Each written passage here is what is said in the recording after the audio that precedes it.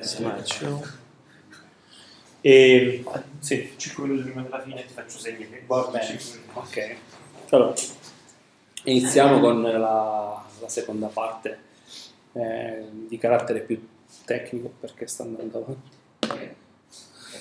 No. Ah, io non ho fatto niente. La seconda parte Forse quello attiva il player. Dicevi scusa, l'organizzazione via. Sì, credo proprio di sì. Scusami, ma. Sì, è partita. Sì, sì, no, era partita. Ok. Seconda car- la seconda parte del seminario oh, di carattere più, più tecnico e specifico verso oh, le nuove tecnologie in ambito di di big data. Forse, forse se, eh, mettilo in pausa e, e metti in pausa quello, sì, forse. Ok. Ok. Ehm, abbiamo preparato insieme al gruppo di data processing del- di Altec ehm, quello che secondo noi rappresenta un po' lo stato dell'arte in questo, nel settore del big data. Ehm, sono parecchie slide, eh, vorremmo sostanzialmente diciamo, condividere con voi il percorso che stiamo facendo. Ehm, andrò veloce su alcune, su alcune parti. Quando avete eh, delle domande fermatevi senza, senza nessun, nessun problema. Ehm, preparando queste slide un po' mi sono, mi sono chiesto la, seconda, la seconda- seguente domanda. Eh, Big data ormai è un termine strausato, che spesso porta anche a confusione eh, tra, i vari, tra i vari attori presenti nel, nel mercato. Però cosa, cosa interessa sostanzialmente a una comunità scientifica è l'applicazione de- eh, delle tecnologie data nel, nel settore scientifico. Quindi ehm, provo sostanzialmente a eh, evidenziare le caratteristiche che possono essere utili in ambiente, in ambiente scientifico. Ovviamente la parte social del big data in ambiente scientifico, anche se qualcuno sta provando a creare ambienti social, ma non è il, il core business del- per, per quanto riguarda la scienza. Um, altre parti invece eh, sono direttamente, direttamente applicabili. Ehm, e dal mio punto di vista, Scientific Big Data um, indicano in ambito scientifico i dati utilizzati in progetti che hanno le finalità scientifiche, sia essi acquisiti eh, nel progetto stesso o anche provenienti da altri progetti ma che hanno una funzione all'interno eh, del, processamento, del processamento scientifico. Le definizioni che si trovano in letteratura su- sul tema del big data sono eh, tantissime e le le più svariate. Il termine nasce da un articolo eh, della NASA in ambito di visualizzazione.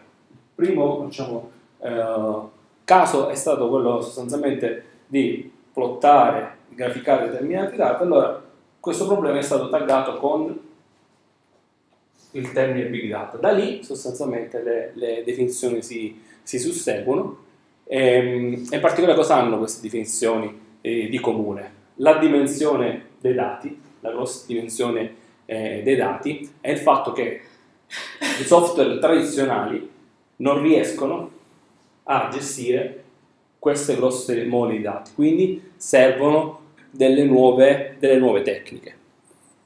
Qui ho elencato alcune definizioni, c'è un report di McKinsey che è il report che si trova maggiormente in, in rete per quanto riguarda la parte di big data, Eh, ci sono diversi libri, di...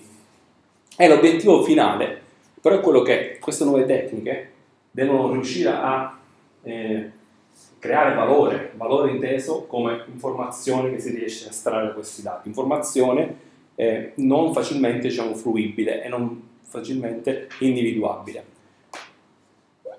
La, la- la figura in basso della chart è presa sostanzialmente dal sito del gruppo Unplug dell'Università di Berkeley. Ehm, c'è un gruppo sostanzialmente che studia nuove tecnologie e eh, che sta creando anche delle, delle- delle infrastrutture di, di- di riferimento. E secondo me è esplicativa quella, quella definizione, data that is expensive to manage and hard to extract value from. Perché è vero che si hanno a disposizione delle nuove tecnologie, però queste, bisogna ammetterlo, sono spesso difficili da, da, da utilizzare, da gestire, anche perché sono svariate, sono n, non ci sono standard ancora presenti e si fa fatica a volte a individuare qual è lo strumento giusto e, e soprattutto è necessario un grosso sforzo iniziale prima di riuscire a capire la potenzialità di qualcosa che realmente esiste.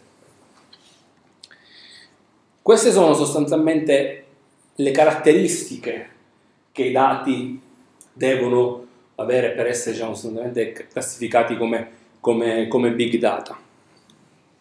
Abbiamo la parte di, eh, di, volume, già abbiamo parlato delle dimensioni, abbiamo la parte della, della, velocità, nel senso che i dati ormai sono acquisiti in modo oh, continuativo, oh, abbiamo sensoristica sparsa ovunque, in particolare per l'ambiente scientifico. Poi, come, come detto prima, in altri ambienti ci sono altri generatori di dati, però a noi interessa essenzialmente eh, la, parte, la, parte, scientifica. Quindi sensori ne abbiamo di diversi tipi, di, di, che lavorano in modo, in modo diverso, sensori eh, installati sulla Terra, sensori sullo spazio, eh, che si continuano ad alimentare i nostri, i nostri repository.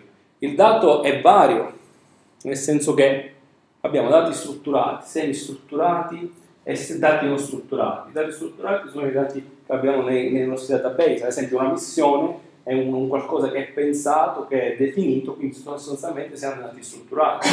Però poi eh, si possono avere anche dati, diciamo, semi-strutturati, che sono sostanzialmente il dato che non è proprio organizzato con una struttura um, ben definita, però ha sempre dei, dei tag che ha dei, dei, sostanzialmente degli indici che permettono di accedere, in particolare magari il dato che è in formato XML. In, nel, nell'ambito scientifico i dati magari non strutturati, testi e altri tipi diciamo, di, di, dati di questo tipo sono meno, sono meno presenti. Quindi diciamo, le due categorie principali della verità sono strutturati e non strutturati. La veridicità del dato nell'ambito scientifico è fondamentale, la qualità del dato, la qualità della misura. Cioè se non, non è qualitativamente buono il dato non si riesce ad passare all'ultimo valore che è quello più importante, l'estrazione del valore dell'informazione. Qui brevemente diciamo, eh, sono state riportate eh, le, le, caratteristiche che ho già espresso e in particolare facendo la diretta correlazione nell'ambito scientifico cosa abbiamo in termini di volumi? Noi abbiamo archivi che già in alcuni casi raggiungono l'exabyte di, di, di, dati. La tipologia principale di dato che noi abbiamo sono gli array multidimensionali. Questo se, dovrebbe essere l'elemento principale che caratterizza il, il dato. La sensoristica che è migliorata notevolmente grazie diciamo, alle, agli sviluppi elettronici eh, genera dati in continua, in continua uh, crescita. Una caratteristica di questi dati spesso uh, devono essere analizzati nel tempo, quindi vedere l'evoluzione che questi dati hanno nel tempo e nel contesto magari delle missioni anche il processamento nel breve periodo è un elemento caratterizzante perché bisogna dare subito un output, un feedback ehm, che ha un, un ruolo all'interno della, della, missione, della missione, stessa. Ehm, per quanto riguarda invece eh, la varietà, una caratteristica importante è anche il discorso che eh, noi creiamo degli archivi per missioni, per progetti, in un secondo momento si scopre che contengono, possono contenere informazioni eh, che è utile anche altri, per altri studi. Allora a quel punto quel dato diventa, acquista diciamo, una nuova importanza per un nuovo, per un nuovo pipeline, per un nuovo processo di estrazione dati, di, infor- di informazioni. Tornando un po' indietro, la storia un po' so- informatica, eh, ci pone sostanzialmente a dire ma già qualche anno fa, prima del termine big data, vi erano esempi dove vi erano grosse mole di dati sostanzialmente che dovevano essere, dovevano essere processati. È, è, vero, l'approccio era un po', era, un po', un po', era diverso, nel senso che al, si, si, avevano degli, degli, strumenti che rientravano nella cosiddetta diciamo, business intelligence, cioè tutta una serie di tecniche che ehm, si basavano su una, sulla statistica descrittiva e andavano bene, si riusciva effettivamente a descrivere e a estrapolare informazione dal, dal dato. Con l'aumento del, del, del dato un po' si è, cambiato un po' l'approccio, nel senso che ehm, si sta andando verso un approccio un po' più in, induttivo in alcuni casi. Cioè, si parte dal dato per cercare del, dei, dei, pattern, di cercare del, del, qualcosa che emerge e poi si prova ma anche a dare un, eh, un significato, una, uh, dare un significato diciamo, anche, anche, magari fisico. E la caratteristica principale dei, dei, dei tipi di tecniche che si applicano nell'ambito delle big data è ehm, vanno più verso la statistica di tipo inferenziale, si danno più magari eh, del, delle predizioni, l'obiettivo è quello di predire qualcosa oltre a che de- descrivere un, un, un dataset. Il comune, diciamo, eh, come, dire, il eh, comune understanding che gli strumenti tradizionali arrivano fino a, fino a, fino a un certo punto, quindi ah, sono stati implementati nuovi, nuovi, nuovi modelli.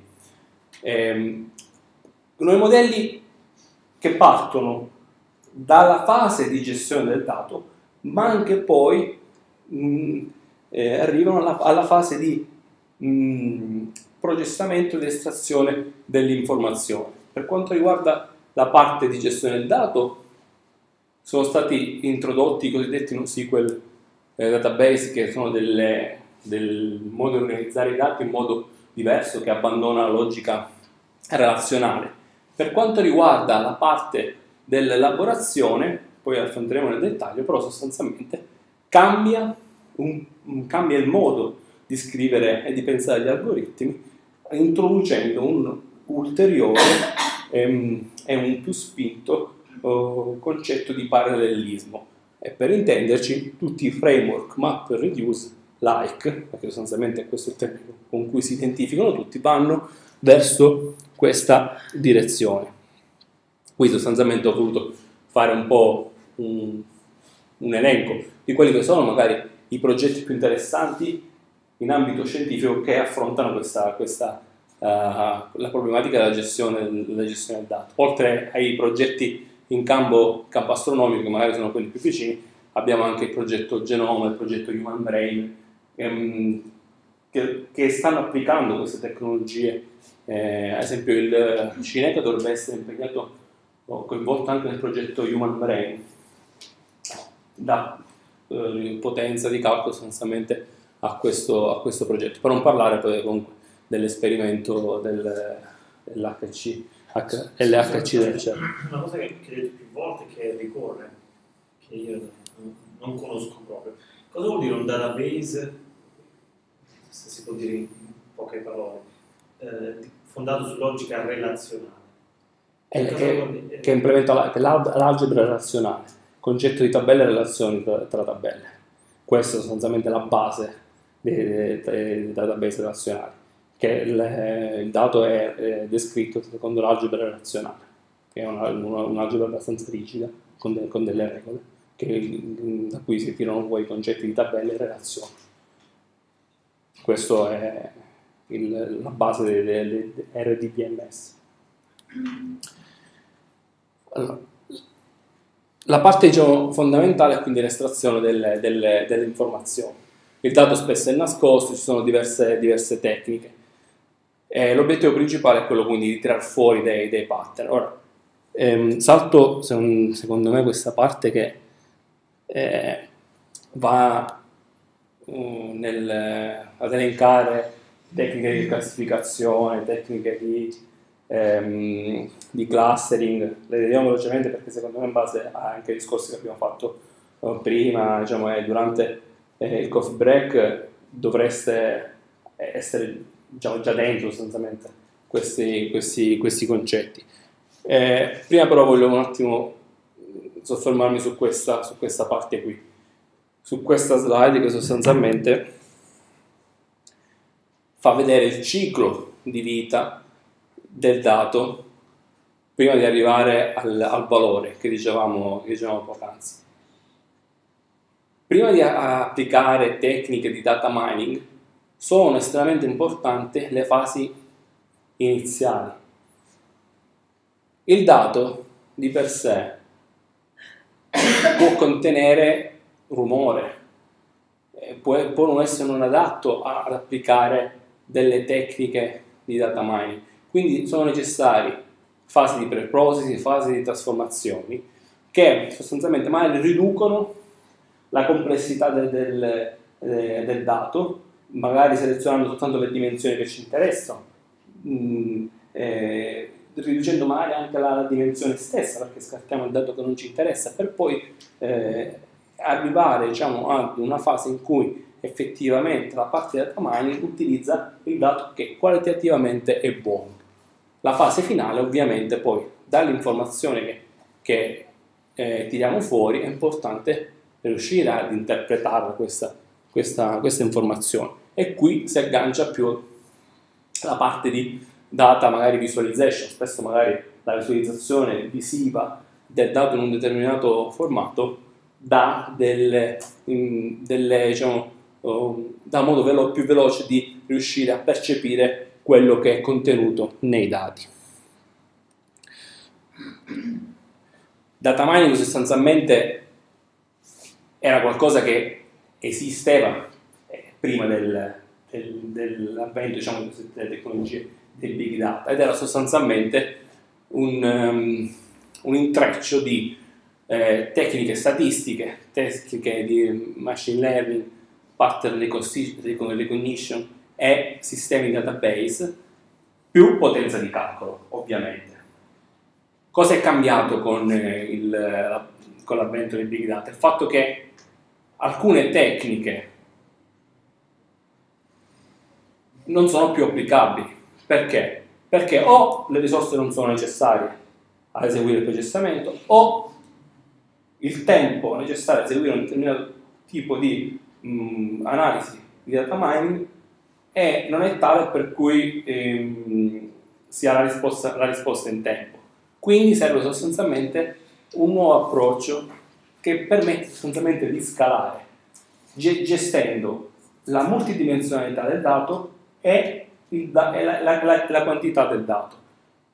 si sta andando quindi verso una possibile riscrittura degli algoritmi in senso uh, parallelo, sfruttando le nuove architetture che sono disponibili. Questa diciamo, è una uh, caratteristica che apre le porte sostanzialmente a questo cambio di paradigma.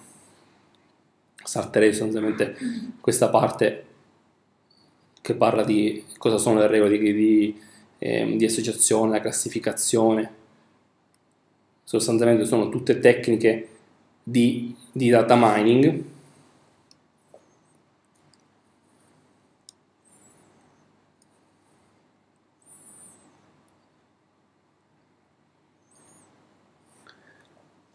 Per soffermarmi su questo esempio. Questo esempio sostanzialmente è l'applicazione dell'algoritmo di classificazione in Gaia.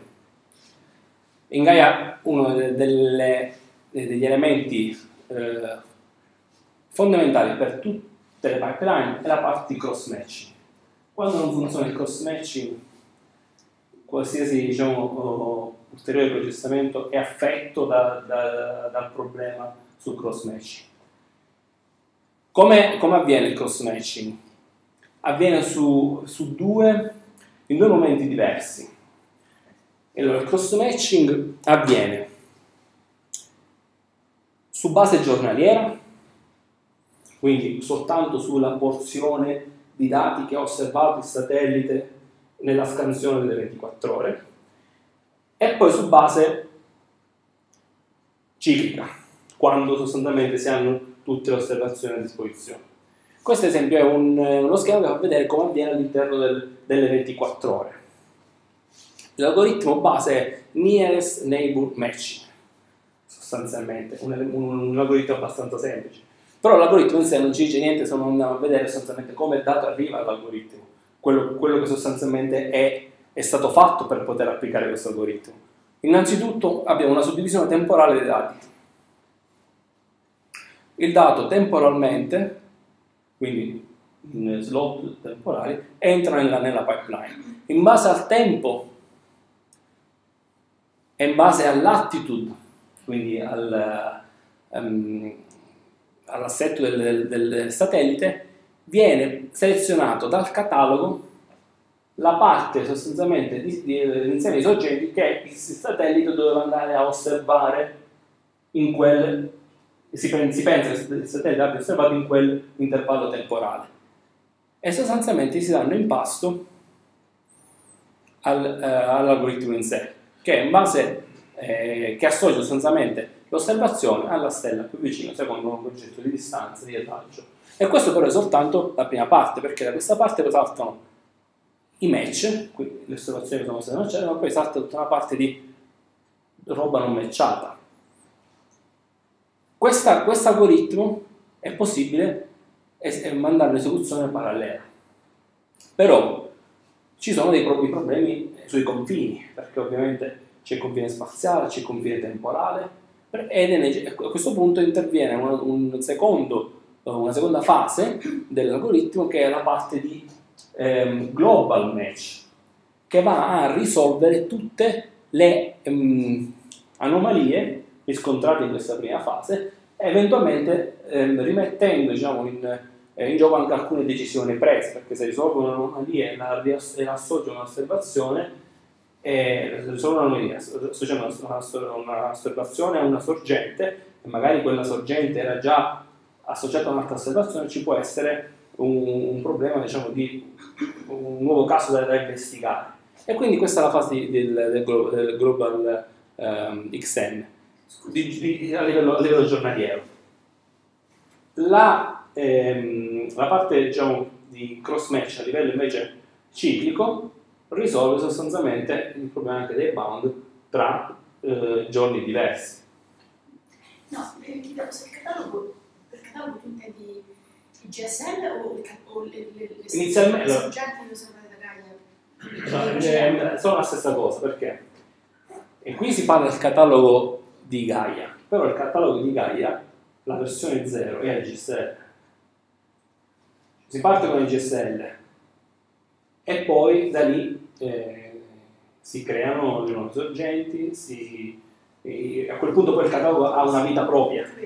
Quindi le match sono le nuove sorgenti, la gran parte. Le, le unmatched, unmatched tipo c'è tutta un'altra storia, però da EDT nascono fuori le, le new sources.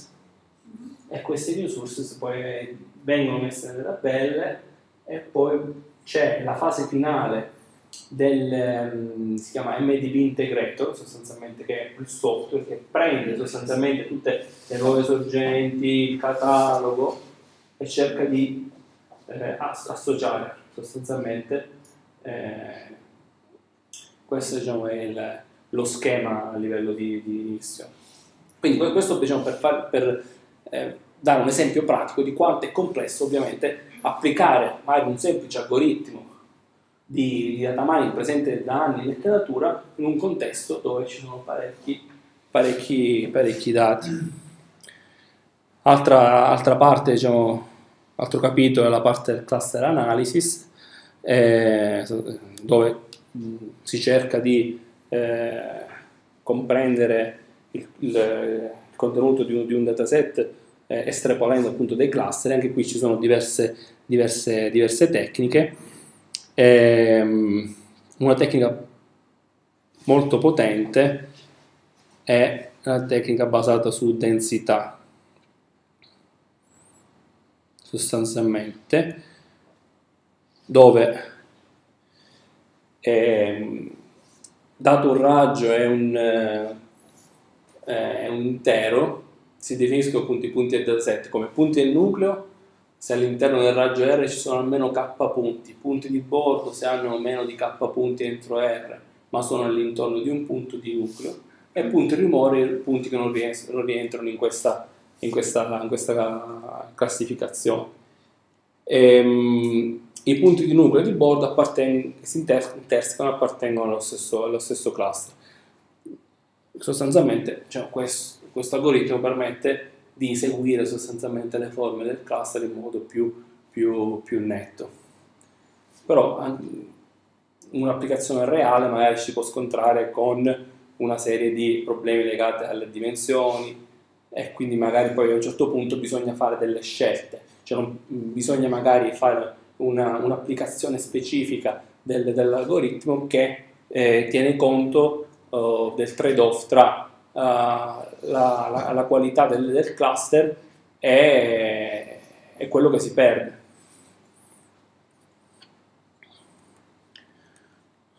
Okay. Allora, il prossimo, il prossimo capitolo invece va verso la parte di architetture e piattaforme, quindi eh, ci siamo mossi all'interno del, del contesto Big Data, abbiamo visto quali sono um, le, le, problematicità che possono nascere nell'applica- nell'applicare tecniche di data mining um, conosciute. Adesso andiamo verso un po' le soluzioni ehm, tecnologiche a livello di architettura, di, di data store, di, di, di, processamento che sono presenti oggi a livello, a livello ICT.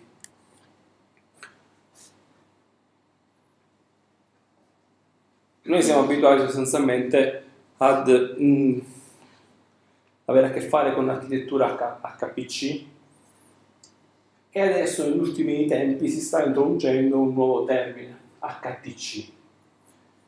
Sostanzialmente col termine HTC eh, si cerca di ehm, differenziare il tipo di, di, calcolo che solitamente viene fatto su un'architettura HPC, HPC introducendo la variabile del, del tempo di processamento di una task che aumenta rispetto a un classico approccio HPC.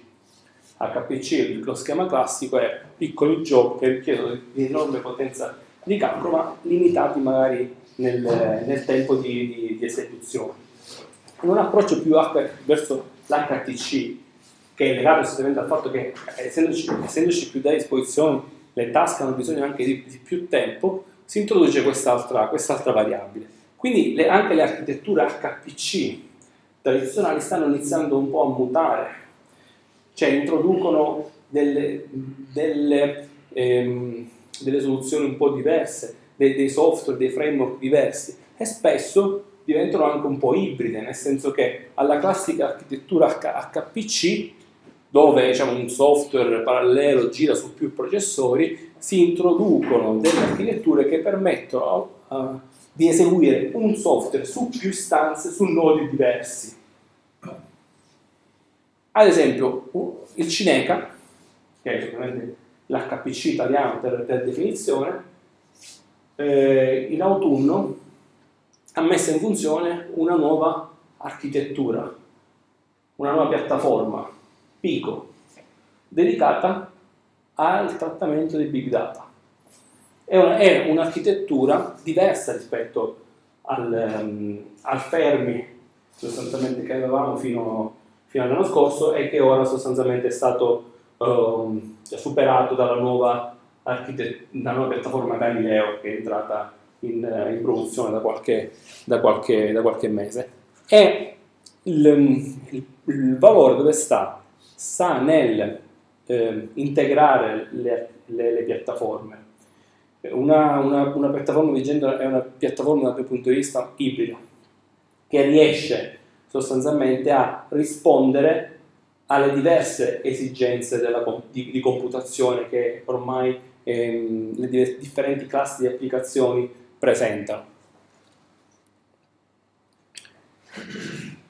Questa è una chart eh, presa da una presentazione di IBM, che un po' dà il senso di qual è l'evoluzione dalle architetture tradizionali ai nuovi sistemi, alle nuove architetture che vengono individuate come architetture data centric. Un concetto base dietro diciamo, tutta questa um, dif- questo elenco di differenze. Il fatto che non è più il dato che si sposta nel punto in cui viene la computazione, ma si sta cercando di eh, implementare l'approccio diverso. La computazione viene fatta dove c'è il dato.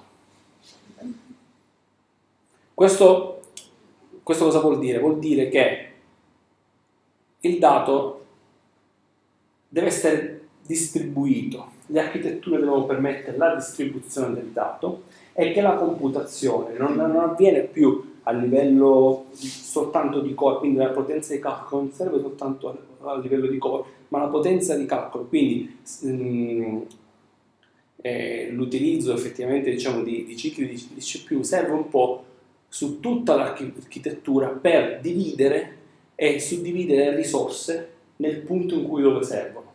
Sostanzialmente il, il succo di questo discorso è che si sta andando verso l'implementazione di architetture di tipo cloud. Questa è l'evoluzione che le architetture stanno avendo. Da, dai cluster HPC c'è stato il momento della grid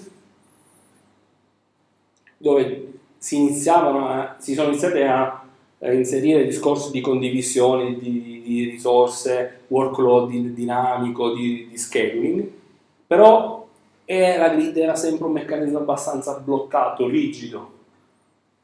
Con il cloud si vogliono mantenere queste caratteristiche, ma dare maggiore flessibilità e riuscire a sfruttare meglio le risorse che sono presenti nei vari centri di calcolo, anche magari federandoli, creando sostanzialmente delle eh, federazioni di, di, di, di centri. Questo lo, lo, si vede anche nei, nei, progetti che a livello europeo, a livello nazionale eh, stanno, si stanno portando avanti. Cioè, il termine sostanzialmente che sta, eh, il termine di riferimento dell'architettura è il cloud. Tornando un attimo indietro, questo è il discorso diciamo, dello spostamento dei dati. Ehm, il discorso anche sempre importantissimo della, della, della, modularità. Questo ora poi ci torno quando vi faccio vedere com'è la, ehm, divisa l'architettura PICO del, del Cineca, c'è una slide specifica. E un altro, un altro elemento fondamentale è effettivamente ehm, capire e riuscire a misurare i workload dei vari workflow, perché? È vero che le risorse eh, all'interno di un, di un cloud post, sono diciamo infinite, nel senso che l'utente vede questo, questa nuvola di risorse come infinite, ma realmente le risorse sono finite, quindi riuscire a gestire bene diciamo, il carico è, è sempre un elemento importante. Questa è l'architettura Pico che è stata, che è stata creata a Cineca allora, eh, è specifica del big data, cerca di ehm, trovare una soluzione mista tra cloud e gestione delle, delle code, classica, classica dei sistemi HPC. Quali sono le caratteristiche? Che è modulare, cioè i vari elementi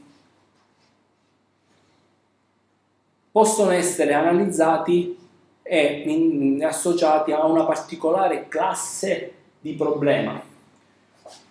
Com- abbiamo la maggior parte dei nodi che sono legati alla parte di, di computazione, però abbiamo poi dei nodi che sono specifici per, per le applicazioni di visualizzazione. Cosa montano? Montano gli acceleratori grafici, che è un altro elemento sostanzialmente che, che sta permettendo di scalare Abbiamo Big, Big Mem Node, questi nodi sostanzialmente anche, anch'essi hanno degli acceleratori grafici e permettono di eseguire framework tipo Spark, diciamo, che utilizzano la memoria, sia anche per diciamo, passaggi intermedi tipo di processamento. E infine abbiamo i nodi dedicati a mm, applicazioni tipo Hadoop. In applicazioni tipo Hadoop, poi vedremo sostanzialmente ogni nodo gestisce la sua quantità di storage. Ogni nodo qui ha 32 terabyte locale. Tutti gli altri nodi magari prendono storage dal solito sistema di storage del Cinec. Però per queste applicazioni non, non va bene andare a prendere lo storage direttamente dal repository centrale, servono i cosiddetti sistemi DAT, eh, Direct Attached Storage. E in questo caso, quindi questa è una, è una um, architettura modulare, qui proprio i blocchi sostanzialmente, una caratteristica di queste architetture è che si sono costruite con tipologie di server di tipo high density. Che vuol dire? Sostanzialmente è un server che tu ti componi. È un'evoluzione del sistema Blade, per intenderci. Il Blade ehm, aveva dei, dei suoi bus abbastanza, abbastanza diciamo, origins, che erano delle soluzioni dedicate, non potevi utilizzare altri, non potevi attaccarci altri componenti al, al di là diciamo, di un sistema Blade. Con questa soluzione sostanzialmente tu hai un server eh, che prende proprio pochi unit rack sostanzialmente e in base alle tue esigenze metti un modulo CPU, metti un modulo di, eh, di storage, metti una scheda che si attacca PCS Express per un'interazione esterna, cioè te lo componi tu.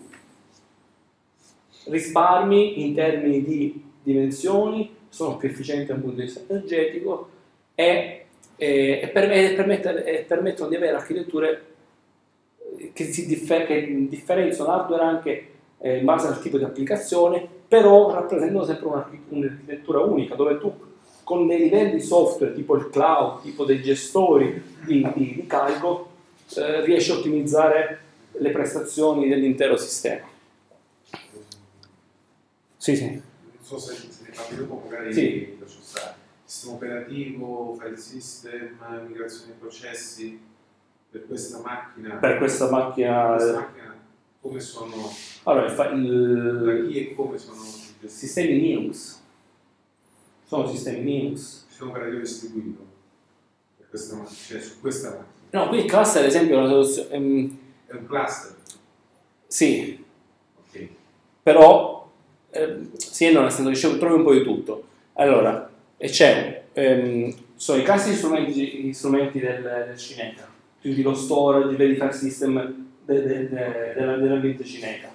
Ehm, poi hai delle installazioni tipo Hadoop, sostanzialmente Hadoop già di per sé ha, si porta il concetto di cluster che, eh, quindi non c'è un, un cluster secondo, unico che gestisce tutte queste, queste macchine vedilo come un pool di risorse nel senso che okay. come l'ambito quando cloud. accedi a questa macchina eh, è trasparente il tuo accesso l'accesso è simile, simile alla, come accedi al ferri l'HPC hai dei nuovi login, poi ti ritrovi sulla macchina. Eh.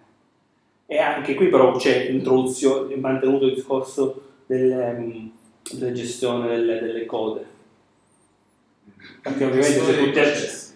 Sì. La gestione dei processi. Sì, sì. E, e, e, chi decide se un processo viene ottimizzato meglio su una diciamo, sezione GPU o su una sezione non so, del 16 nuovi che sono un po' di però è trasparente, no. è qualcosa che io il processo so allora, secondo me, tipo lo lancio lì. Secondo me inizialmente, secondo me inizialmente non è, non è trasparente. No. Al momento forse non è trasparente. Però l'idea, l'idea è quella di. L'evoluzione delle cose.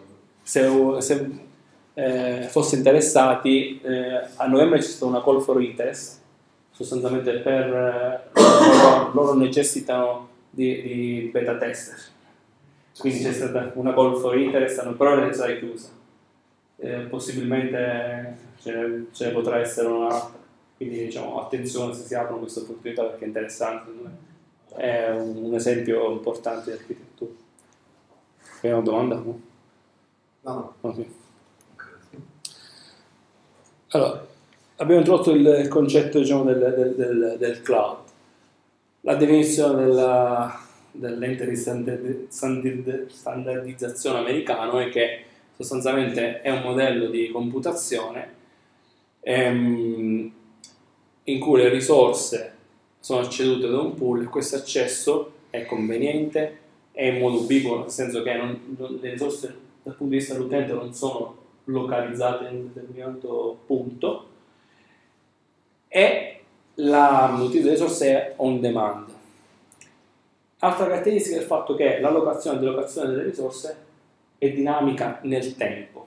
Questi diciamo, sono gli elementi chiave di, una, di un'architettura, di un'architettura cloud. Poi ci sono sostanzialmente delle caratteristiche che andremo a vedere dei modelli di servizio e del, ehm, dei modelli diciamo, di deployment. Per quanto riguarda le caratteristiche, abbiamo detto self-service on demand, cioè l'utente che si attiva una risorsa. Non c'è più l'intermediazione, ovviamente c'è vuole chi gestisce, chi dà la possibilità all'utente, però non c'è più l'intermediazione. La risorsa deve essere acceduta tramite la rete, quindi questo diciamo, potenzialmente è ovunque. Le risorse sono gestite con un pool, questo pool cresce e si riduce.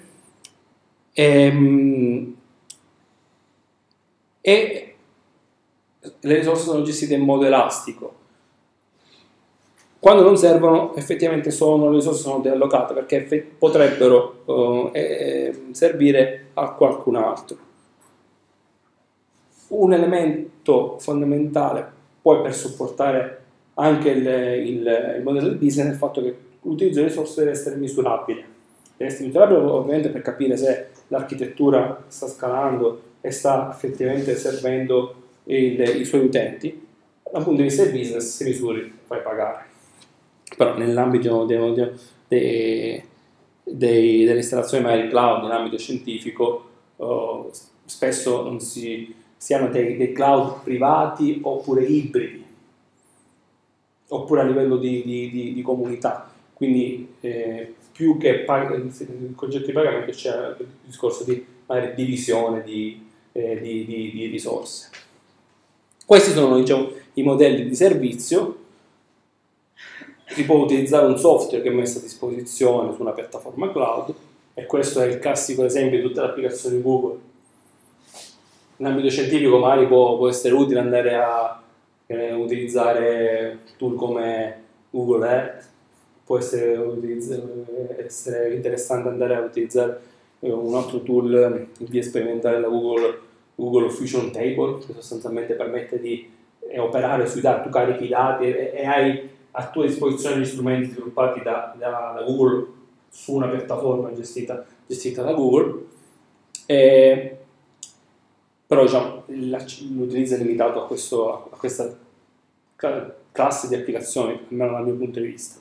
Poi c'è la parte di piattaforme come servizio, e che eh, sostanzialmente l'utente eh, segue in remoto un'applicazione, una piattaforma, una piattaforma software, e facendo il paragone sostanzialmente con eh, eh l'esempio che vi ho mostrato del DPCT, è come se il framework del DPCT fosse gestito su una piattaforma cloud, quindi il livello sostanzialmente di gestione che l'utente ha è, è questo livello e questa è la parte diciamo, interessante. È difficile riuscire al momento a utilizzare il cloud eh, in, questa, eh, in questo livello di servizio per la parte di missioni scientifiche. Sarebbe interessante arrivare a quel livello lì. Serve un processo di standardizzazione, servono delle iniziative che sono in atto, perché se si riesce ad arrivare, a quel livello di servizio eh, si semplificano parecchie task di gestione dell'infrastruttura. Effettivamente l'utente si concentra sulla sua classe di, di applicazione. Invece al momento diciamo, dov'è ehm, lo stato dell'arte eh, è soprattutto eh, centrato sulla parte di infrastruttura come servizio. Qui si è la parte più spinta, si hanno parecchi framework, parecchi tool, toolkit che permettono diciamo, di avere questo, questo livello. in cui sostanzialmente l'utente può, dis- può disporre di una risorsa in, in, remoto. Una risorsa può essere una macchina virtuale, può essere un system, può essere un DB, può essere una risorsa. Man mano diciamo, le classi di risorse si stanno eh, espandendo sempre, sempre, di più. Però poi vedremo un esempio di, di toolkit che eh, vedremo cosa offre. Questi sostanzialmente sono i, i, casi con cui è possibile, diciamo, uh, con cui è possibile costruire un, un, cloud. Private cloud essenzialmente è un'organizzazione che si crea la sua infrastruttura cloud al suo interno, la utilizza e questo è un modello che può essere applicato ad, ad un'azienda, ad un istituto. Una comunità cloud sostanzialmente sono delle risorse di diversi istituti e organizzazioni che però vengono federate e rese disponibili alla comunità. Questo è il caso, ad esempio, di missioni o progetti che, che, che ehm, sostanzialmente utilizzano una piattaforma cloud come piattaforma comune e mettono a fattore comune le risorse. Public, public cloud sono sostanzialmente le infrastrutture messe a disposizione dai, eh, dai vari vendor, dalle varie organizzazioni, comunque c'è un modello business stesso dietro, e hybrid cloud sostanzialmente è quando un'organizzazione ha la sua private cloud e per sopperire magari a momenti di picchi ha integrato la piattaforma con una piattaforma pubblica e pagando il servizio ha la possibilità di aumentare la propria capacità. Per chi viene dal mondo della grid, sostanzialmente si può fare qualche paragone.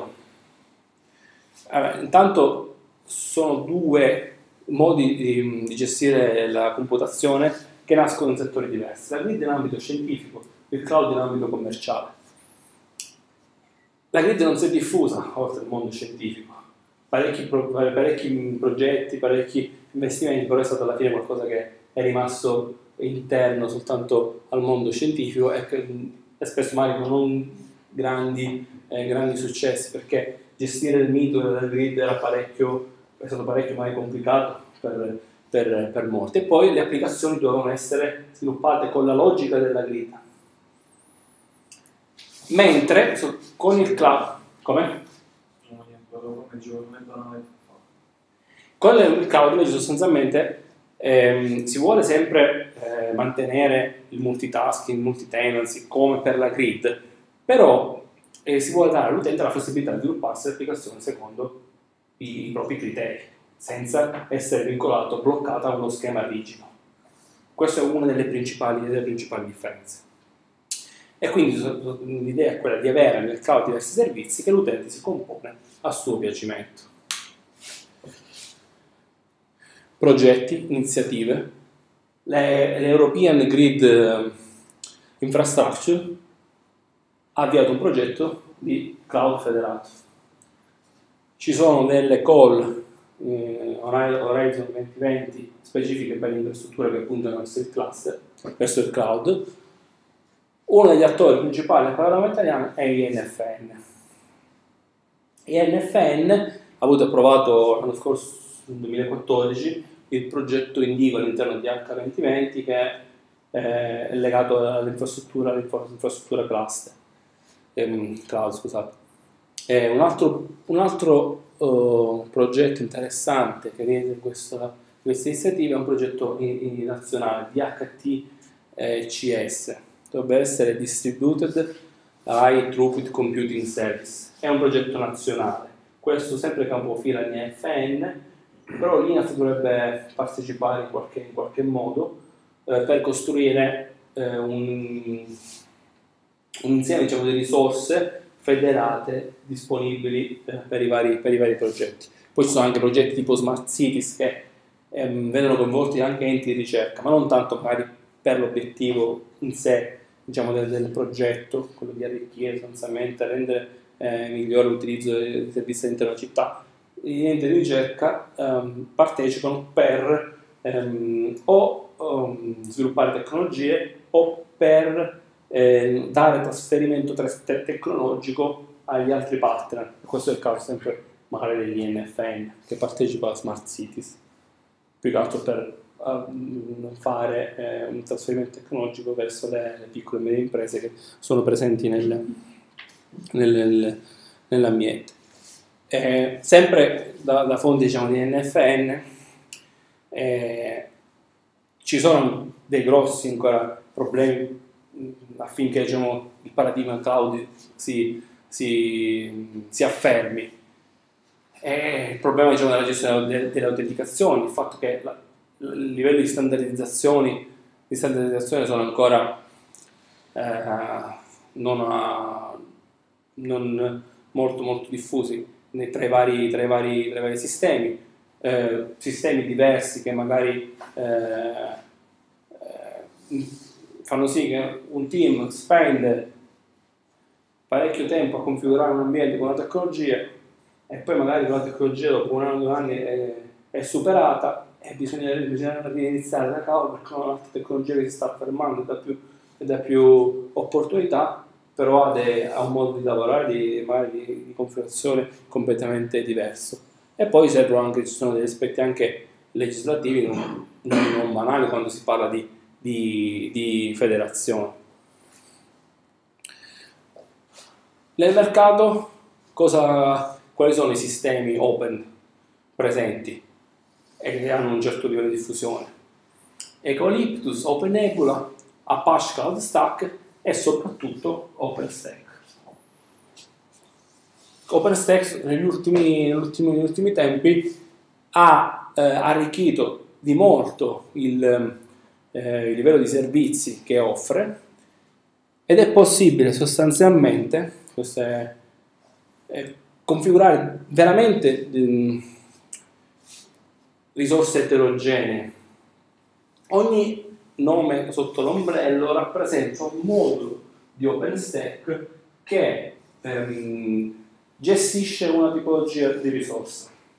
Quindi un ambiente, quando si mette su un ambiente cloud con OpenStack, sostanzialmente si possono attivare tutti questi, tutti questi moduli. Per, per fare cosa? Si può virtualizzare a livello di computazione, Nova, si può gestire la rete con Neutron, si gestiscono, ehm, il, dovrebbe essere il, il, i volumi come blocchi tramite quest'altro modulo, oppure c'è un nuovo modo di fornire lo storage attraverso oggetti, poi entreremo, Swift gestisce oggetti, cioè, cambia il modo di vedere lo storage, non più file system, non più file, ma oggetto, il livello di astrazione che che è presente nel linguaggio di programmazione ad oggetto, viene portato anche a livello di storage.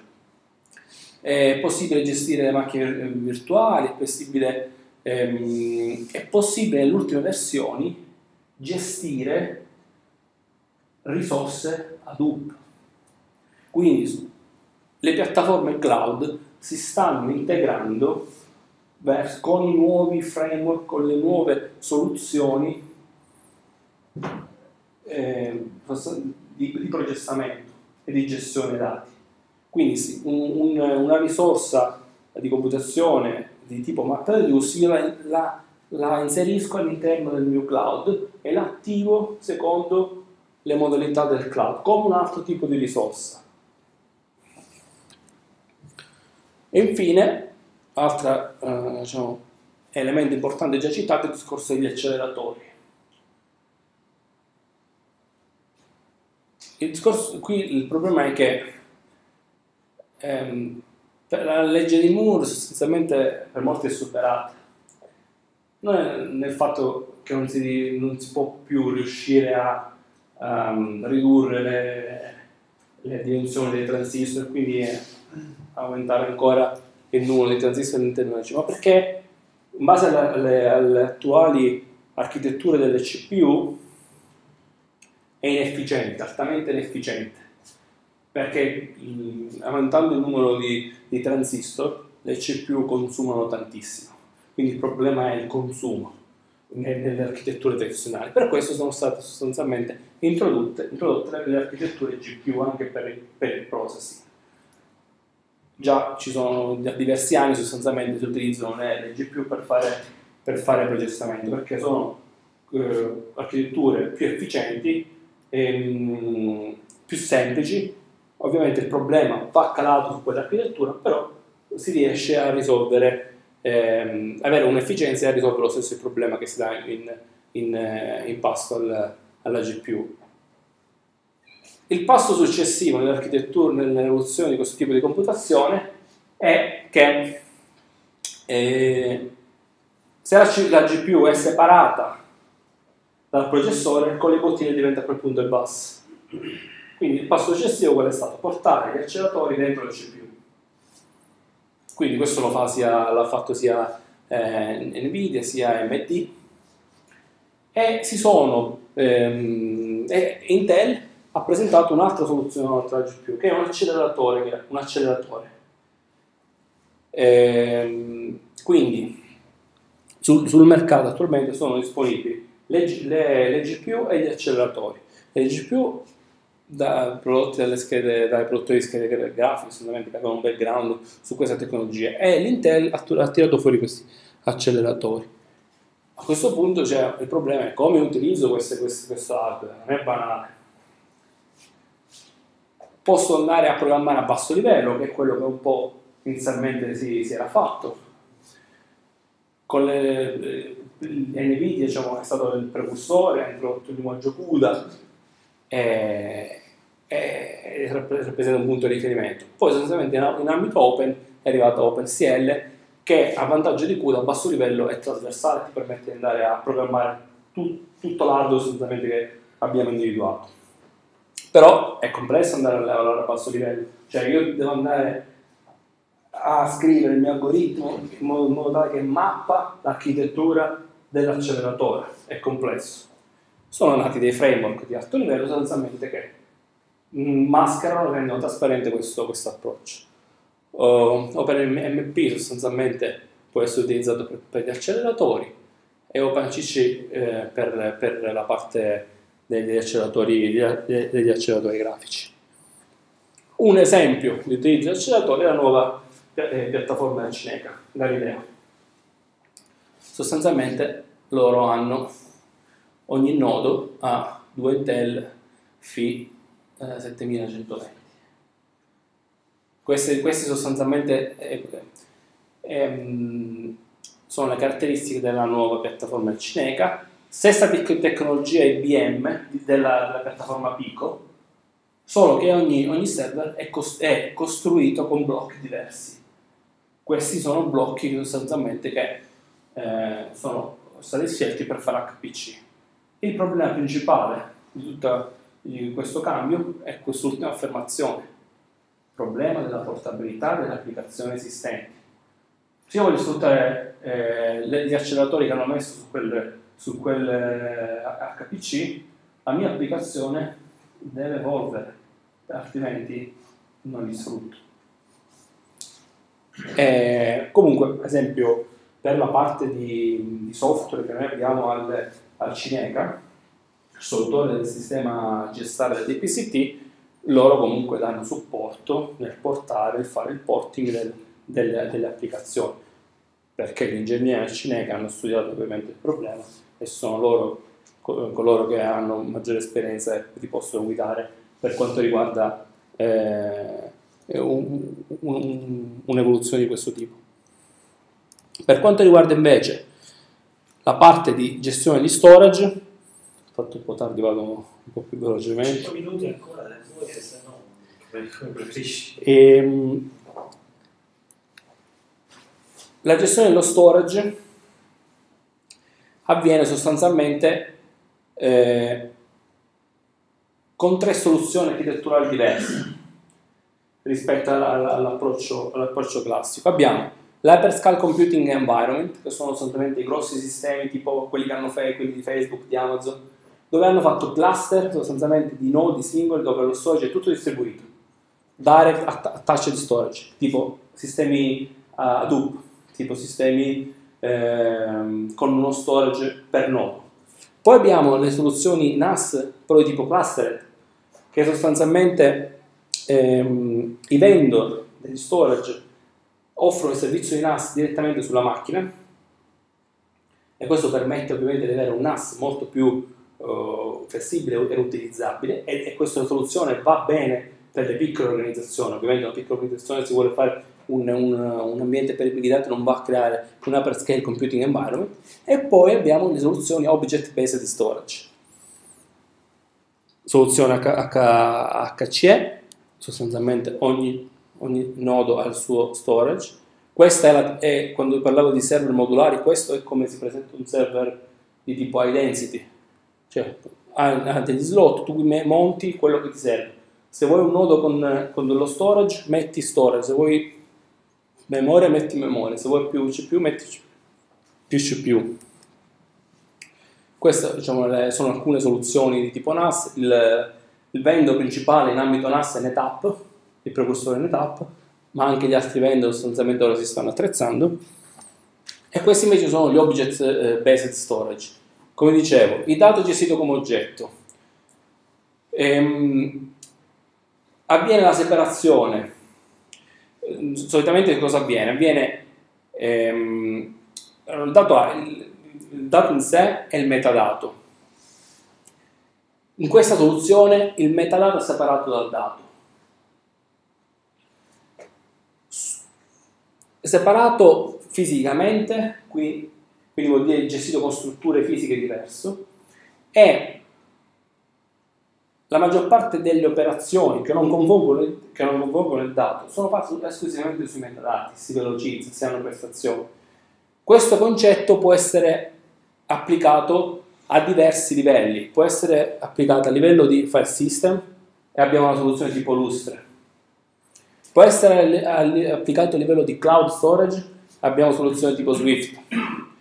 Può essere applicato a livello di storage hybrid tipo Gluster FS, un file system di Red Hat che fornisce sia dati come file sia dati come, come oggetti. E poi vabbè, si, hanno, si, ha, si, hanno, le soluzioni quelle dedicate che sono fatti Facebook, eccetera. Scusami, sì. a parte l'ultimo che, che non conosco, diciamo, però Questo. i, i, primi tre sono sostanzialmente eh, file system, no? Sì, però sono, sono gestori, sì, so, sono diversi tipi di gestione, però tutti tipo file system. Sì, però ad esempio una, una caratteristica magari hanno le app a disposizione, tu... Sì, sì, sì, sì no, ok. Cioè l'Uster tu lo vedi come un... è un file system. L'Uster lo vedi non così. sono gestori di database tipo No, no, no. Postgres o No, no, no, no, questo... non- No, no, questi, no, questi rientrano nel senso nella categoria diciamo di... passiamo come system, però è un po', un po' diverso. HDFS, il file system di Hadoop. E ha una sua struttura di blocchi interna per garantire affidabilità. Il dato è replicato, questo non è banale per l'ossidazione di dati, Ehm, ed è ottimizzato per attività eh, di inserimento, lettura, ma non per gli aggiornamenti. Anche Hadoop non è pensato per gli aggiornamenti. Hadoop nasce per il batch processing. Comunque, l'HDFS è un, è un file system di Hadoop, quindi una grossa componente di Hadoop. Si può sostituire anche con altri file system la parte diciamo, di gestione del dato di Hadoop. Non so quanto poi performi bene, però esiste. Questo sostanzialmente è lo schema di HDFS, si ha un node master che gest- gestisce l'accesso al dato, il client contatta il node master per, per il namespace, per la gestione degli accessi e fino a quando non si ha la IO vera e propria non si passa dal data node slave. Concetto simile può essere applicato eh, sull'Ustre, nel senso che abbiamo un gestore dei metadati e un gestore del dato. Tutta l'interazione avviene iniziale con il gestore dei metadati e poi si passa al gestore del, del dato. Se voglio scalare, aggiungo nodi di metadati e nodi di, di dati. Andiamo alla parte, diciamo, di altro, altro elemento componente chiave, la parte dei eh, NoSQL data store. Qui è, è, un mondo, nel senso che cioè, non, è, non, esiste la definizione di NoSQL. Sostanzialmente si è visto che il modello relazionale non andava bene, si sono eh, inventate nuove tecniche di, di organizzazione del dato eh, per scalare orizzontalmente e per avere performance. Inizialmente all'interno di sempre eh, progetti ehm, aziendali, poi nascono da questi progetti aziendali progetti open source che evolvono. I produttori classici di IR e di BMS hanno seguito. Ora con SQL fino a qualche anno fa non c'era. È stato presentato adesso nel, sul, sul, sul, mer- sul mercato. Il prezzo da pagare qual è? Hai prestazioni, eh, hai fault tolerance, però a volte perdi consistenza, ma il dato non è aggiornato allo stesso tempo in tutte le repliche e quindi magari accetto un delay nell'avere l'aggiornamento. Le famiglie si possono organizzare in database organizzati per colonne, dove, dove è importante nella tipologia dell'accesso al dato andare per colonna, sono database che permettono di andare per colonna, un DB relazionale vai sul record, vai orizzontalmente, qui riesci ad accedere verticalmente alla, alla, alla, alla colonna. Il più utilizzato Cassandra.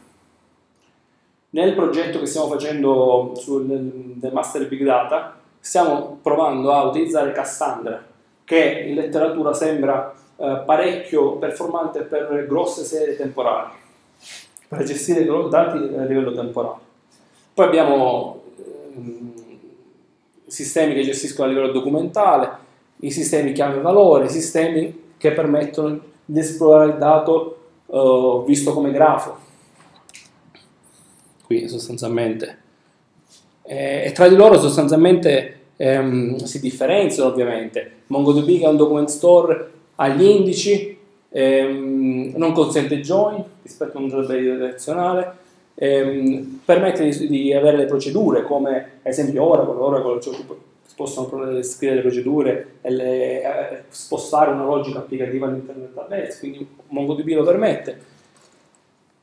Però ehm, per esempio, la limitazione è che il join non te lo fa fare. Cassandra è, è Cassandra sostanzialmente è un altro, un altro esempio, è schema, è schema free.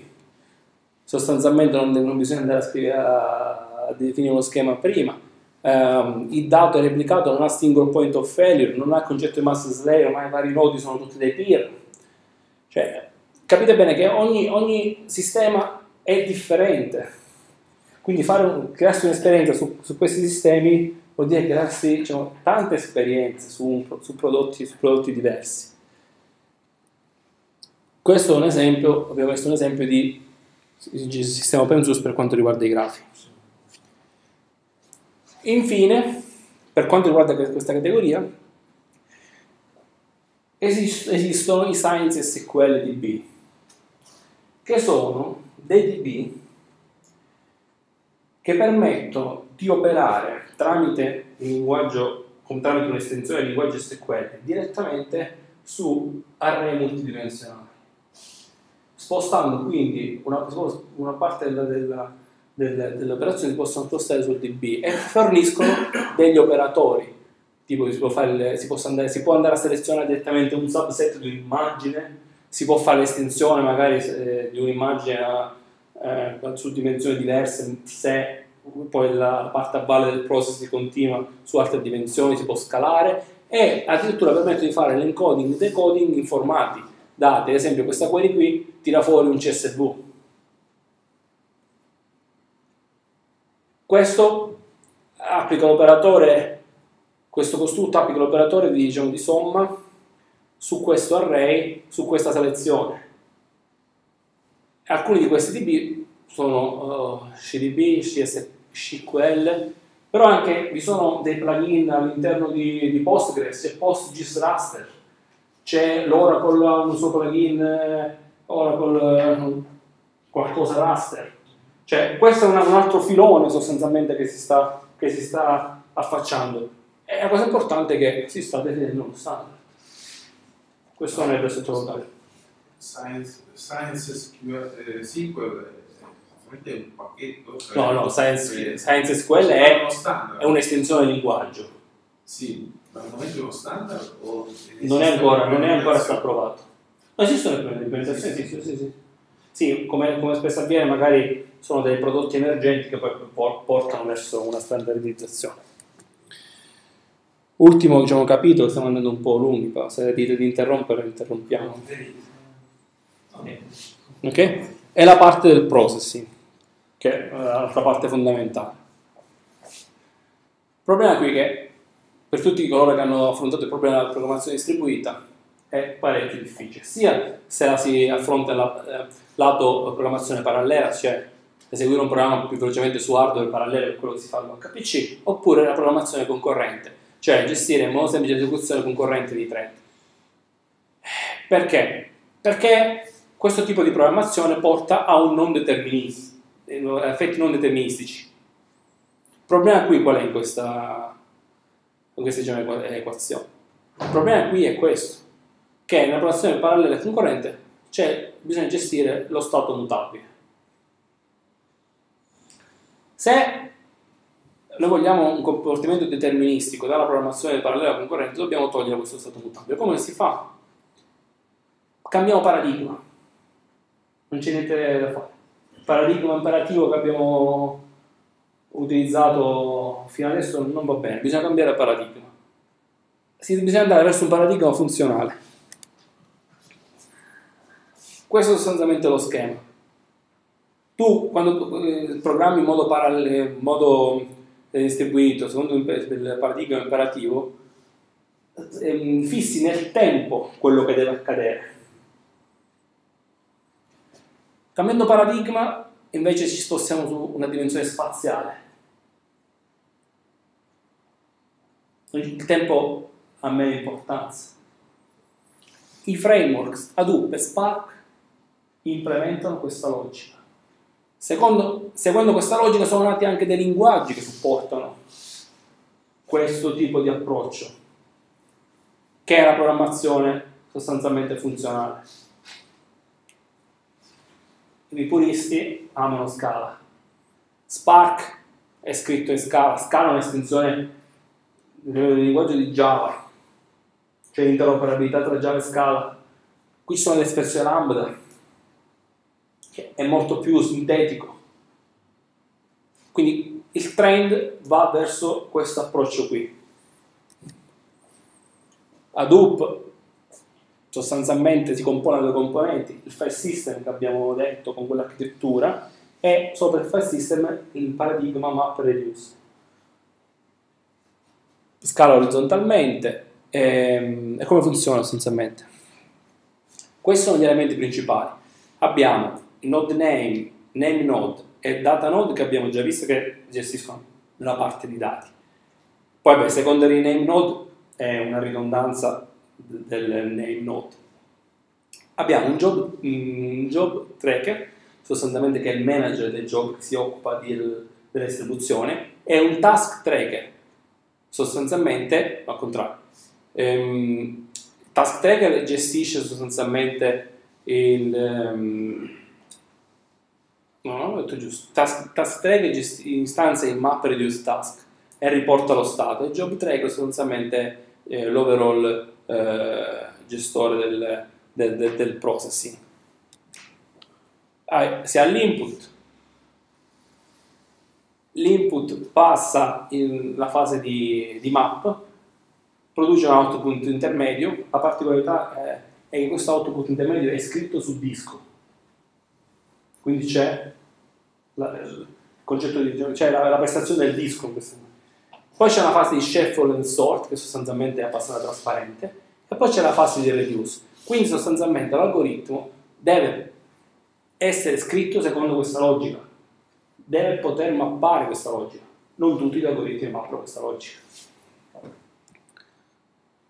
Questo è un ecosistema sostanzialmente di, di prodotti su, su Hadoop, nel senso che se questo è Hadoop, c'è tutta la problematica di portare i dati da sistemi tradizionali o esportarli verso sistemi tradizionali, c'è la problematica di interrogare i dati che sono su Hadoop e quindi sostanzialmente sono nati diversi prodotti che si, si, utilizzando la logica map reduce permettono di ehm, accedere ed utilizzare, utilizzare il dato.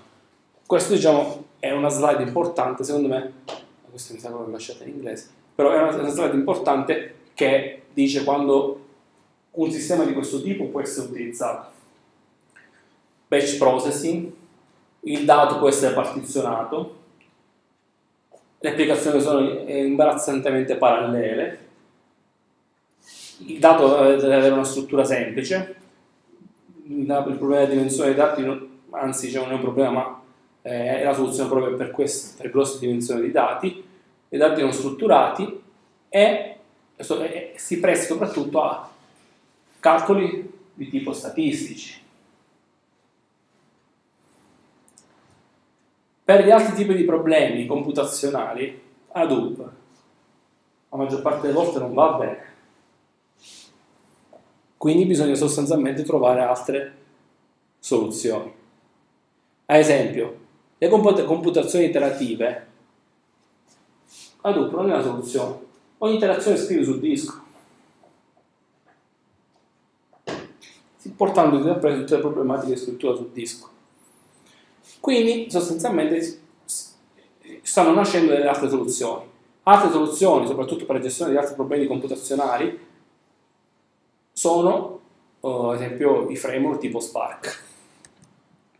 Qui, ad esempio, eh, delle chart, Kness ha utilizzato Hadoop. Per, per scegliere Hadoop ha fatto una serie di test, paragonando Hadoop con Cache, con Postgres, con Cassandra, con MongoDB. Qui sostanzialmente si vede la, ehm, la, rate di inserimento degli oggetti accresce il numero di oggetti. Su in base a questi test loro hanno scelto sostanzialmente Hadoop. Il DPCI ha, ha creato un'architettura di Hadoop con 108 nodi. Le PhotoPython girano su, su questo cluster qui. Eh, 108 veramente l'overall, adesso poi c'è diviso, per la parte operativa, parte di loop e parte di test. E, e, e andiamo eh, verso l'ultimo, l'ultimo prodotto che, sì, l'ultimo framework che, che rappresenta lo stato dell'arte in termini di processamento, Spark. Map Reduce, disco, Spark, memoria. Avendo i dati in memoria, si va molto più veloce, si possono applicare eh, altri e parecchi algoritmi. In, per alcuni classi di, di, problemi 40 volte più veloce di Hadoop. Stessa logica di parallelismo spinto, però sostanzialmente ehm, è l'evoluzione, viene dopo, risolve parecchi problemi architetturali. Quindi queste sono per alcune tipologie di, di, eh, di, di algoritmi, di data mining, le prestazioni di Hadoop e le prestazioni di Spark. Oltre al batch permette di fare interactive processing perché ha la shell. Puoi utilizzare Java, Scala e Python. Poi, se, se, se si ha la capacità di, diciamo, di scrivere script in Python, c'è la shell. E direttamente Python viene viene tradotto, ehm, è compatibile con Hadoop, cioè tu non è che tu puoi avere il tuo ambiente con Hadoop, HDF, HDFS, i dati già sistemati come vuoi tu, installi sopra um, Spark che, che, vede quei dati, Spark vede i dati su Cassandra, quindi poi il mondo poi di cui diventa abbastanza complesso, nel senso che cioè, tutti questi, questi progetti, queste soluzioni si intrecciano, quindi bisogna avere una capacità di riuscire a dimenarsi su queste cose non indifferenti architettura di riferimento, che è quella sostanzialmente dell'AMP Lab, dove allora, c'è un gestore di file, che può essere HDFS, Cluster FS, su un, su, un, su un cluster, Mesos è un gestore di cluster, e, um, ci può essere Hadoop sostanzialmente, già installato, e poi c'è Spark, il framework. Ma Spark si porta dietro quattro importanti librerie. Streaming, cioè si attacca a dei connettori che permettono di attaccarsi a uno streaming di dati e trasformarti lo streaming in un batch processing in modo automatico. Ha una libreria di una serie di ehm, algoritmi che già lavorano bene sui grafi, eh, Machine Learning Library e Spark SQL per accedere da Spark a dati strutturati per interfacciarsi con la parte di dati già esistenti. Eh, il dato è diviso, organizzato interamente in resilient distributed dataset, tutte le operazioni avvengono su questi dataset. Due concetti, trasformazioni, partendo da una, un RDD si passa a un altro RDD tramite una trasformazione, oppure su un RDD posso applicare delle azioni per ottenere un valore. Ho un RDD, applico un account e ottengo un valore. Queste sono poi le caratteristiche varie, dei vari componenti che dicevo, però esempio, qui tutti questi... SVN sta per SAP Vector Machine, qualcosa del genere? Virtual. Non te lo so dire questo. Verifico, ti, ti faccio sapere. No, de, sì, parte dei metodi di big data mining. Sì, sì. Un eh, Questo, questo dovrebbe essere già, tutto, Sì, eh, sì, dovrebbe essere sì, già sì, tutto sì. disponibile. Quindi, eh, utilizzando questi strumenti, col- con la potenza del framework, cioè, secondo me si possono ottenere delle, delle importanti, delle importanti, diciamo, importanti esempi di- verso l'ambito Quindi data. messo così, insomma, Spark è molto meglio di... Certo, perché certo. noi siamo proprio all'ASI stiamo cercando di Secondo me sì. Noi stiamo, stiamo andando verso provare Spark. Perché cioè, tu con Spark non è che il map reduce lo puoi sempre fare. Cioè, map reduce eh, lo fai. L'unica differenza è che è la- si può attivare e disattivare è il concetto di cache. Vuol dire che se tu decidi di cacheare il dato, lo cache in memoria. Ovviamente eh, i requisiti sono che, un esempio, devi configurare un nodo, le, le istruzioni ti dicono configura la memoria del, del nodo eh, pari a la memoria totale della macchina meno un giga. Cioè si prende tutta la memoria della macchina, perché per fare questi algoritmi in memoria. Sì, sì, giusto per chiarezza, la SVN è SAP Vector Machine, è la tecnica di intelligenza artificiale. E questi invece a parte dei grafi, la data visualization, so avevo messo solo qualche chart, ma mi soffermo qui sostanzialmente dell'ultima settimana, non so se voi avete diciamo, letto, è uscita diciamo, questa notizia, siamo riusciti a creare un'immagine dove la luce è effettivamente vista come particelle e come onda. Quindi questo è importante sostanzialmente per sottolineare l'importanza di avere una visualizzazione che dà diciamo, la percezione del dato. Qui, eh, niente di, di importante, esempi di grafici, però sostanzialmente per andare alle conclusioni del fatto che in ambito scientifico la disponibilità di nuove tecnologie informatiche offre nuove possibilità di estrazione di informazione a costo maggiore però complessità dei sistemi stessi. Dalla panoramica che è emersa, cioè, sistemi ce n'è parecchie, quindi diciamo un ente, un istituto che vuole cimentarsi in questa, in questa parte dell'avere, secondo me, delle persone costantemente diciamo, impiegate in ricerca e sviluppo a seguire queste tecnologie. Che se fai una missione e aspetti 5 anni per fare un'altra missione, è passato il mondo tecnologico, tu ti sei perso. È importantissima la figura del data scientist, cioè la persona che riesce a, a gestire queste tecnologie, avere la percezione, quando conviene utilizzare una cosa, quando non conviene utilizzare una cosa. Un evento importantissimo che c'è stato nel settore è stato il BITS eh, 2014. Eh, ESA ha organizzato un, eh, un workshop a, a Esri sulla tematica de- del big data in ambito spaziale e osservazione eh, della Terra. C'è, se andate, cercate BITS 2014 sul, sul sito su Google, vi, vi potete diciamo, eh, collegare alla pagina dell'evento ci sono tutte le presentazioni inclusive in libero. Cioè, secondo me è una buona fotografia. E dal, dal, dalla discussione finale è emerso che comunque eh, l'impulso che le tecnologie hanno dato al settore spazio, al settore osservazione della Terra è stato fondamentale, ci sono aperte parecchie opportunità, rimangono ancora un po' di, di strada da percorrere, la disponibilità dei dati.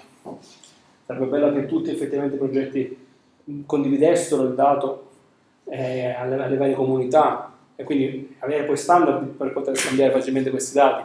La federazione della capacità dei prosi è un'altra cosa che abbiamo detto, la standardizzazione degli accessi, la disponibilità anche agli ambienti collaborativi, oltre a scambiare dati, scambiarsi anche magari esperienze eh, lavorare diciamo in team. E, e in generale questa è l'ultima mia considerazione che volevo fare, comunque già ho fatto la prima parte, è il discorso che è importante la fase di design, perché se la fase di design pone dei vincoli eh, ehm, stringenti, eh, spesso in progetti lungo e, e medio termine non si ha poi più la capacità di sfruttare nuove tecnologie che nel corso degli anni si presentano e che possono diciamo, migliorare il modo in cui si affronta un, un, un problema. Eh, quindi partire già con un handicap poi diventa problematico. Diciamo che ho finito.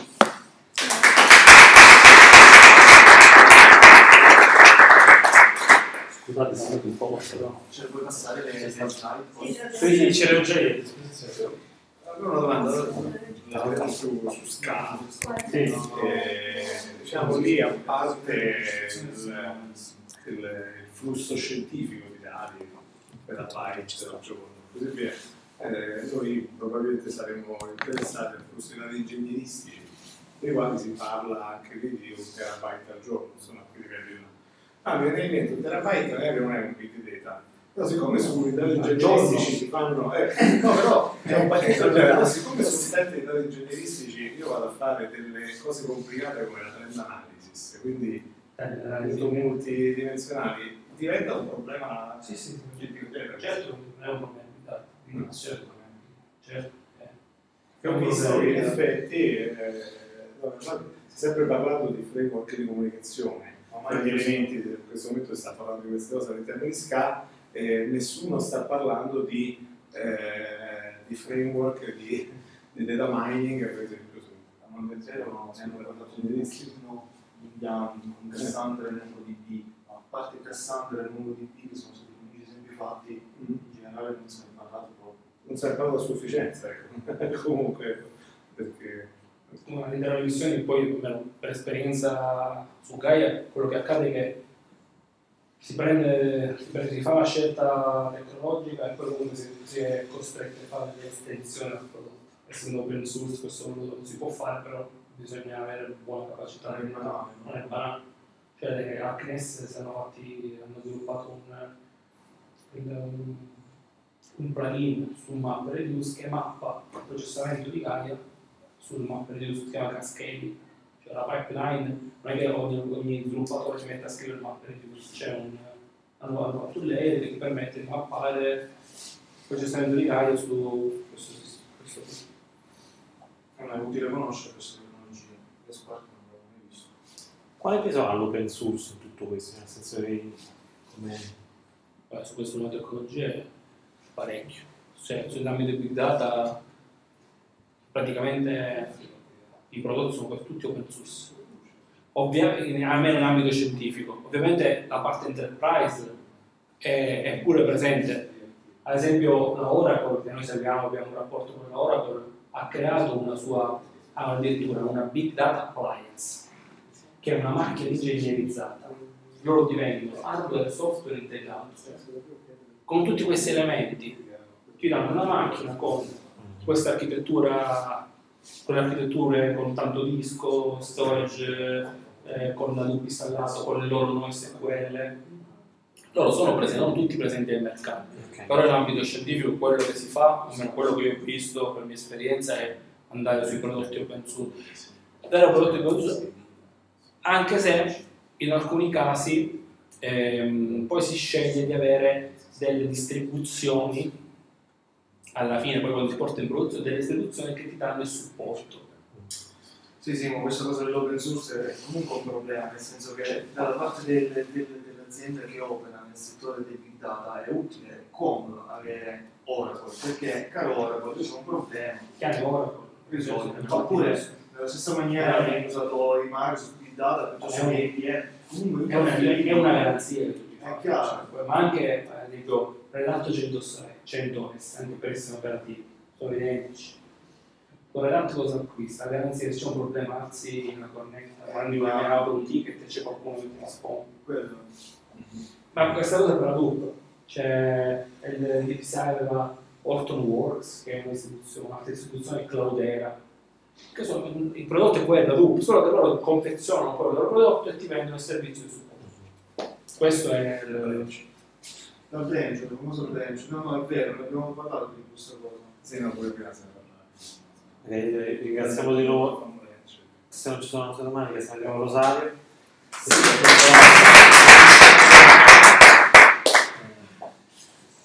Grazie, Come? Grazie.